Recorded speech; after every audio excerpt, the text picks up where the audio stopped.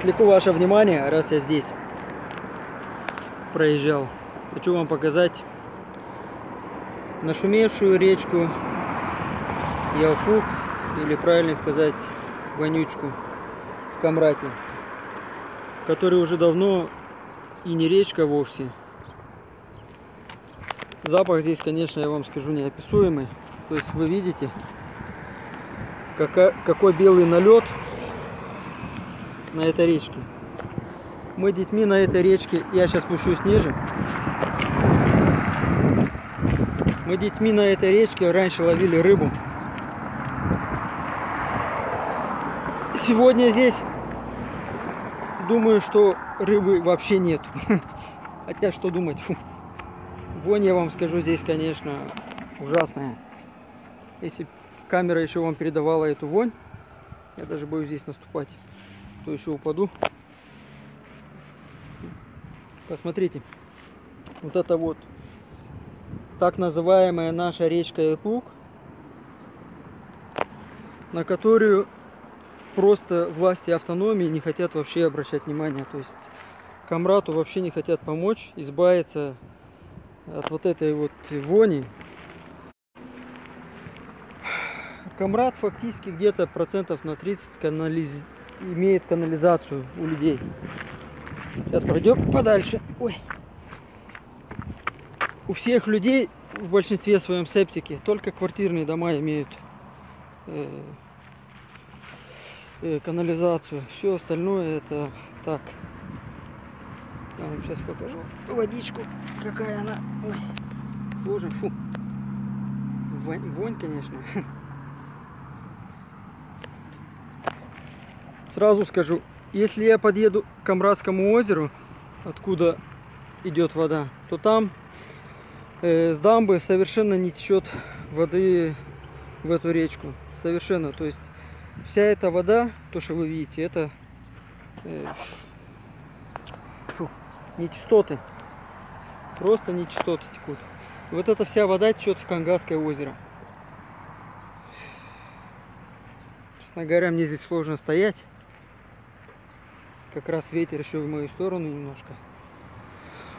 Я бы вам показал, подъехал к озеру, но как бы нет желания вот это все.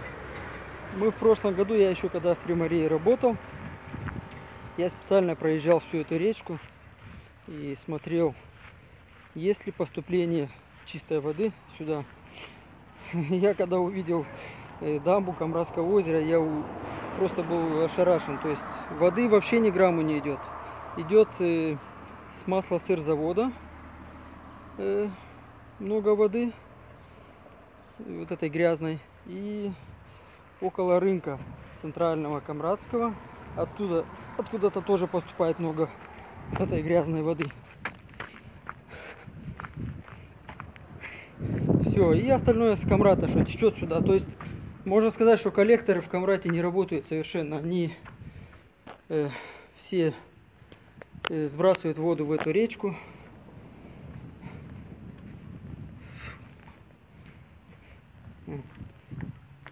Как я здесь хожу, я даже не знаю, стрёмно здесь.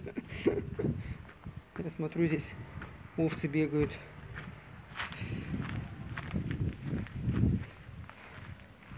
Ну, здесь вам ничего не будет видно, но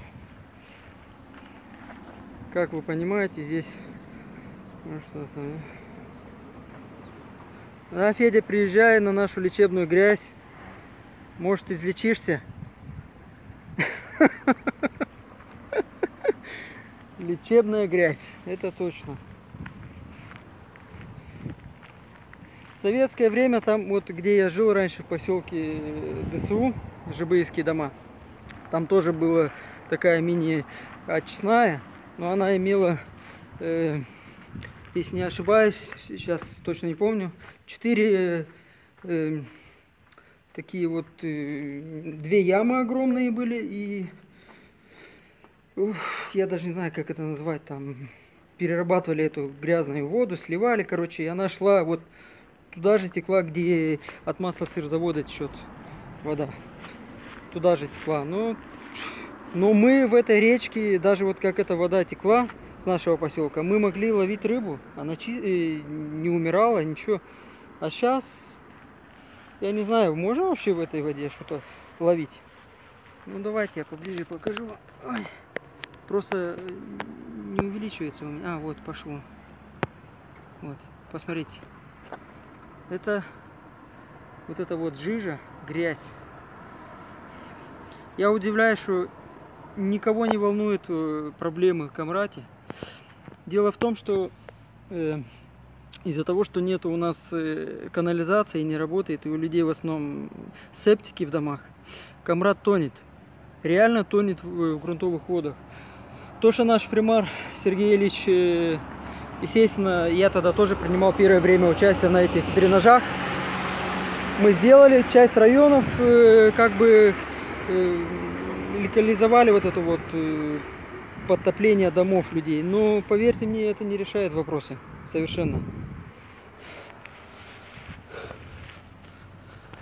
Тут надо реально подходить серьезно к этой проблеме, потому что если и мы дальше так будем относиться к нашему городу, то Камрад, можно сказать, э, можно вести в ЧС сто процентов. Хотя я что вам ска- скажу, вот, вот эти дома, которые у нас э, подтопленные, вот это грунтовые воды, что уходят э, в землю, люди там выращивают э, фруктовые деревья, садят всякие культуры. Вот это вот, извините за выражение, химическое дерьмо, оно все, все питается вот эти наши растения. И мы потом это едим, понимаете? Вот эту химию мы всю кушаем. Это не то, что раньше в советское время мы там более экологические продукты сливали. А сегодня химия, везде химия. И это все пропитывается, вся наша земля в Камрате пропитанная. Сегодня колодцы в городе, э, вот этих в Камрате нельзя вообще с них воду пить. Она просто опасна. Да, ты вы- вырываешь, там вода вроде чистая, но если взять ее на анализы, на пробу, то я думаю, что ее даже скотине нельзя давать, не то что людям пить. Да, это вонь особенно идет, я вам скажу, ночью. Особенно ночью, потому что днем ветер есть, и он как бы сдувает его в одну сторону. А ночью э, она рас- расходится над э, очень сильно в районе Туканяски, потому что вода вот, в основном вот эта вся грязная течет туда. Э, И поэтому очень сильно воняет, даже форточки не откроешь.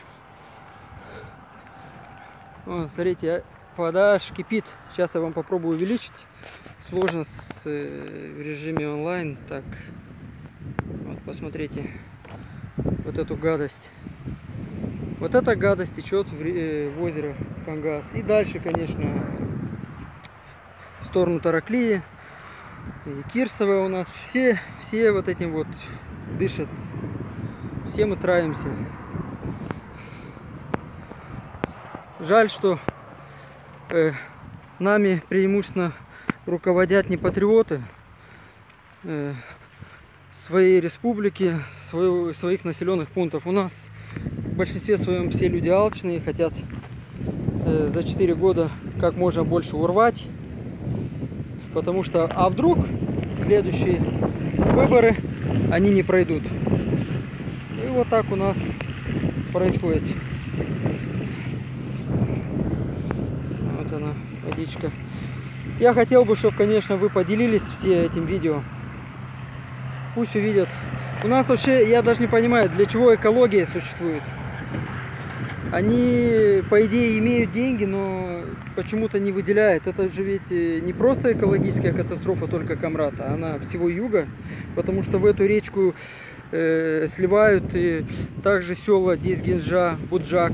Оно, это, это уже грязная вода, идет сначала в Камрадское озеро. Понимаете?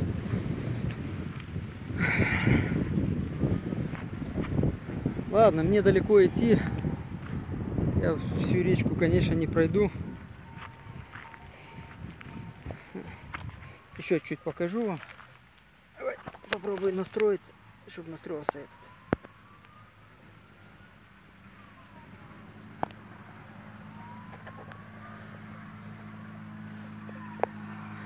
Нет, не щука у нас водится, Федя. Нас бы сюда, э, сюда бы отправить всю делегацию Гагаузии эм, на 9 мая, на 1 мая шашлык здесь приготовить. И желательно хотя бы на полдня, чтобы они здесь посидели. У речки, живописной нашей. Речки вонючки. И пусть поедят этот шашлычок, отдохнут. Э, а лучше, чтобы они здесь дома построили поблизости. Может тогда они начнут реагировать на это все. Вот мне иногда некоторые людишки пишут, что у меня много негатива. Да нет у меня негатива, я вполне адекватный, и с людьми я всегда нормальный, приветливый. Просто ну, видео у меня не получается делать другое. Как бы. Я показываю проблемы, я не показываю какую-то э, какую-то радостную новость. Можно разве над этой новостью смеяться? Ну как я могу показать и смеяться? Это вообще кощунство какое-то. Так что, извините, что есть, то есть. Показываю, что есть. Ладненько, я, может, как-нибудь у меня получится возможность. Пусть пройдут эти башканские выборы. Посмотрим, кто выиграет. Я потом сниму, надеюсь, что я сниму э, целый, как бы, такой большой репортаж, но от начала до конца, откуда течет эта вся вонь, я публикую в хорошем качестве. Чтобы убедились, что я не вру. Потому что некоторые любят писать мне, что я забрался. Я прямой человек, я врать не умею.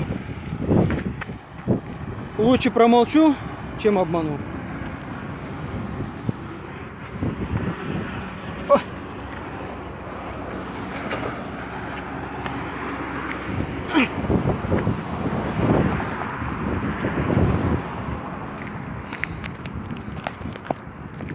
Давайте еще раз покажу вам вид сверху, пейзаж Камрата, речки нашей.